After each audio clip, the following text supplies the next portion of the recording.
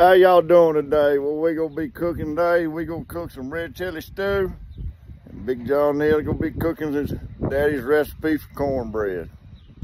Put a couple onions in there, some sweet peppers, a poblano pepper, and a couple of jalapenos, and then we're browning that ground beef.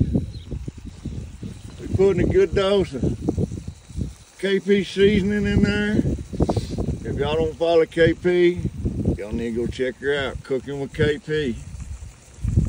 She got some good stuff.